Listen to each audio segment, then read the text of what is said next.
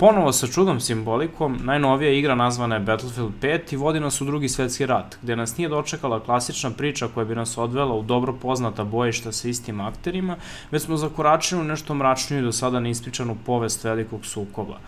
U ovim ratnim pričama fokus je pre svega na ljudima i njihovom uzajamnom odnosu u teškim vremenima, gde neće sve naravno ići po planu.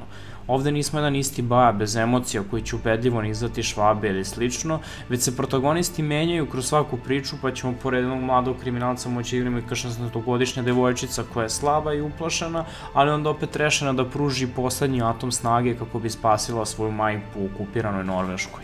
Dakle, priča ne čina od vas puku gubicu i deo velike armije, već vas smešta u nešto manje zapažene uloge pune emocije i strahova. A upravo je to ono što ovaj naslov odveo od drugih, a ne puko postojanje i kampanje samo zarad sadržaja. Došao je red i da zakoračimo u taj multiplayer, gde se možemo detaljnije posvetiti gameplayu. Napucanje nije kao u prethodnim igrama, jer nećete igrati nekog ukrotitelja oružja kako bi uspeli da ubijete neprijatelja ako vas on ne prvi ne likvidira. Balistika je realističnija i svaka puška posjeduje sobstveni obrazac trzaja koji kroz igranje možete naučiti i ubrzo ćete znati šta i kako da uradite. Tempo igranja je takođe doživao promenu, pa tako sve teče dosta fluidnije i susreti sa protivnicima se završavaju kroz svega par sekundi. Ali to ne znači da je bojište postalo opšta ludnica u kojoj se ne zna strana.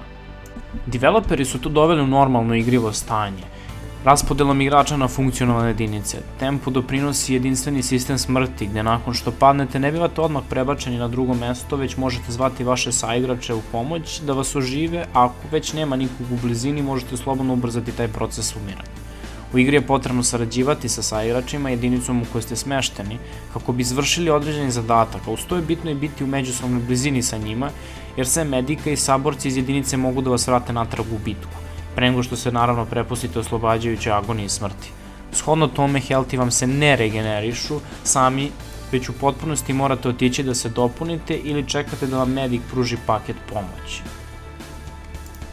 Kada smo već kod klasa, u ponudi postoje četiri koje možete menjati u bilo kom trenutku toko meča. Assault, Medic, Support i Recon.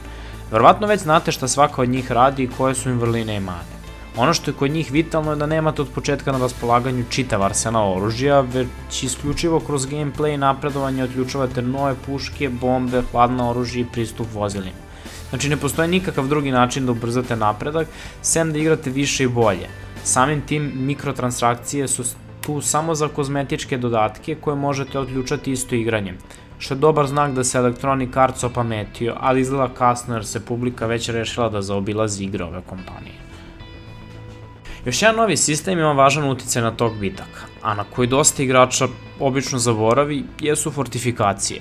Svaki igrač pored standardne opreme dobije alat za izgradnju zaklona i postavljanje bodljikave žice koje će onemogućiti neprijateljima da se lako dokopaju objektiva, a ujedno služi kao zaklon od vatre.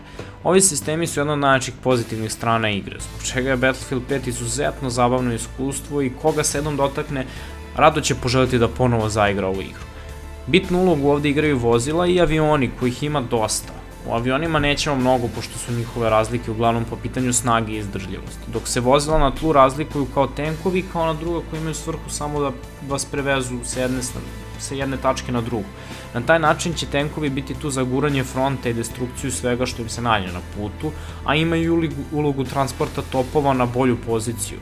Manja vozila uglavnom imaju po jedan mitraljez i mogu prevoziti više vojnika što je odlično za uvežbane jedinice koje žele da se polazne tačke brzo stignu u poprište sukoba, što je još jedna stvar koja ide u prilog brzom i dinamičnom gameplayu.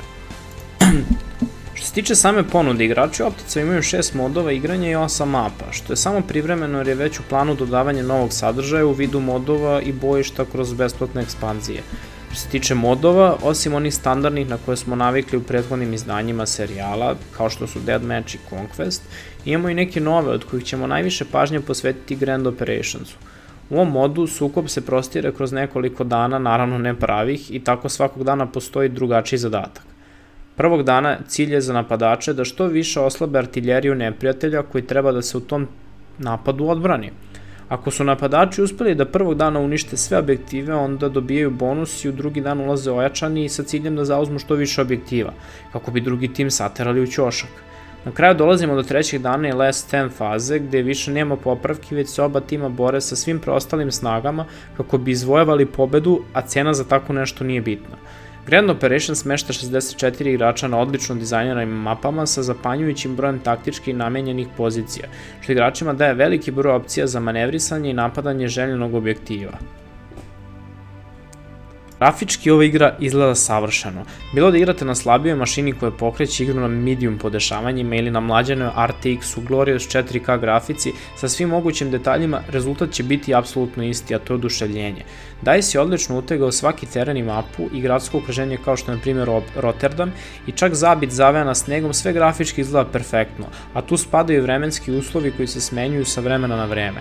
Na primjer, postoje mećeve, pustinske oluje i kiše koje smenjuju vidljivost i teraju igrača na blisku borbu gde snajperisti nisu od pretarane pomoći. E sad, toliko smo govorili o pozitivnim stvarima da je verovatno nekome čudno šta se ovo događa. Kao što nema čoveka bez mane, tako nema ni Battlefielda bez problema. Mikrotransakcije na svu sreću nisu jedan od njih, ali se posledice osjećaju kao i zbog Social Justice Warrior skandala koji je nastao na premijeri i kojeg nećemo više spominjati jer nema nikakvog značaja u ovakvom naslovu. Ono što čini problematiku igre leži u samom gameplayu. Zbog same izmene u tome kako se igrači kreću, veliki broj puta ćete se naći u situaciji kako sa svojim karakterom skačete u mestu i eventualno stradate zbog toga, a ispred vas se nalazi samo manja stena, dok u nekim drugim situacijama možete preskakati čitave zidove. Sistem jedinica smo nahvalili u ranijim linijama teksta, ali to je bajno samo kada ste svi živi, kada trebate da se vratite u borbu i da to učinite u blizini vaših saboraca. Iz jedinice to ume da bude prava noćna mora.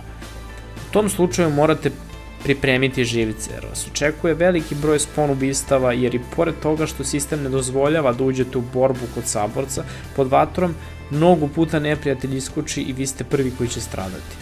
To su donek, tu se donekle gubi poenta tog brzog vraćanja u borbu, ali je za ispravljanje toga potrebno dosta koordinacije između igrača, koja baš i nema nema u tolikoj meri, ili da DICE jednostavno mora da ispravite neke nedostatke.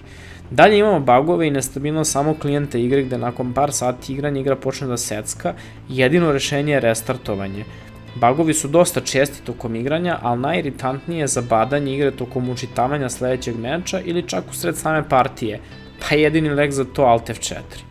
Nabrali smo mape i modove i moramo priznati da za nas to predstavlja veliki manjak sadržaja u igri, što se ogleda u politici Electronic Artsa da igre pruži kroz živu podršku, odnosno da se vremenom obogaćuje sadržajem, tako da je to samo trenutni problem jer u mesecima pred nama dolaze razne ekspanzije. Rat besni i dalje i nekako izgleda prava bitka tek predstoji kada je u pitanju Battlefield 5, jer developeri tek trebaju doneti svoje ostale i daleko očekivane adute gde spada co-op igranje, Battle Royale mod igranja, tenkovske bitke i sve ostalo što se krška. Nadamo se da to ono što fali da Battlefield 5 bude savršen, jer na samom početku male promene u gameplayu i na pucavanju jesu osveženje i problemi se lako mogu otkloniti, ali treba još žara developerima da bi ovaj Battlefield bio blizu savršenstva, kao što je i prvi prethodnik sa početka milenijuma.